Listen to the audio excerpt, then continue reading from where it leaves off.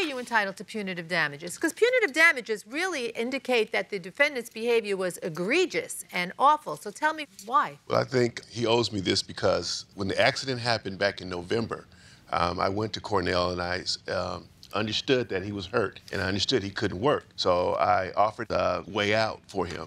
Um, it was half the rent for 3 mm-hmm. months, and he did not pay half the rent for three months. He only paid the rent for one month.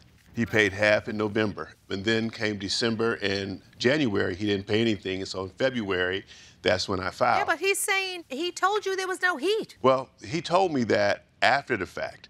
Uh, he told me sometime in December, he told me that it was no heat. And I explained to him that I needed something from the um, gas company saying what was wrong with uh, it was the water but, heater. But you were sending him to do this, making him do the legwork. He's no, the tenant. When there's a problem with the hot water heater, anything of gas, I have to have a red tag from the gas company, and that way i know what to fix. You don't reach out to the gas company and say, hey, I have a tenant that's complaining. It's your building. I did try to reach out to the gas company, but they won't give me any information because it's not my account. Okay. And then your position is once he does it, they come back in and then they tag it, and then you know what it is to fix. Exactly. I reached out to Cornell on several occasions. He would not respond. Also, he indicated that he had problems with the hot water heater. There so was... this is two issues. There's the actual heater and the hot water well, heater? Well, it was only the heater because the first person that contacted me was the City of Los Angeles Department of Health. And they contacted me about a water heater. So I went over there,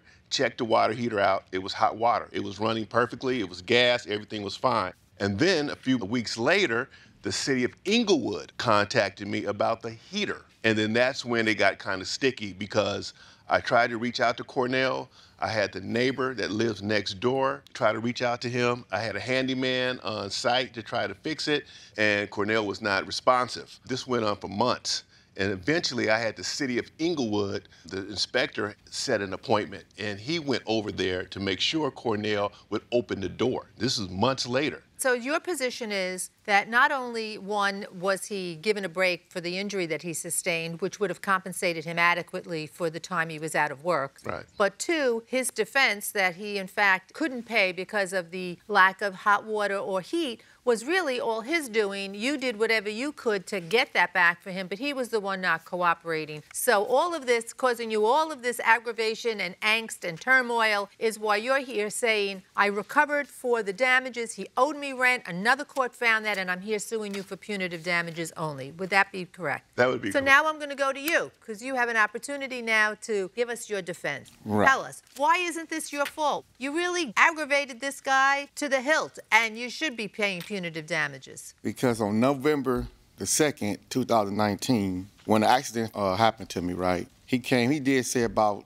we're going to go 800 for your rent. That was good, no problem. Around November. The end of November.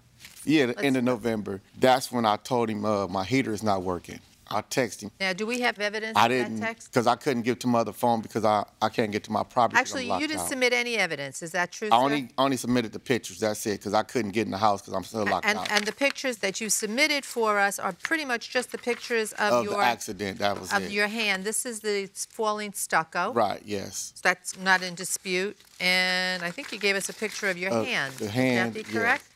So this is your hand. Right. Yes. Okay. How long were you out of work? I'm still not in work right now. From your hand? It's not just my hand. I need six surgeries. I couldn't give you all the evidence because. Which is the hand? Let me see your it's hand. It's right here.